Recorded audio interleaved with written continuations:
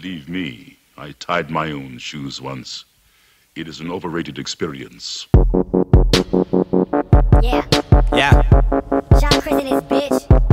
On the Uh huh. you already know. Straight from Inglewood, California. Coming to you Sean live. Chris, bitch. Speakers near you. Uh huh. Right do. On the road, shit. Yeah. Yeah,